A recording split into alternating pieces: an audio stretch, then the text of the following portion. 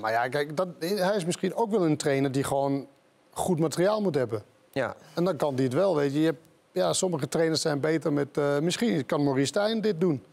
Hij is gewend om met minder materiaal, waar hij, daar heeft hij het goed gedaan. Met minder materiaal en eh, met goed materiaal, of op papier goed materiaal, niet helemaal.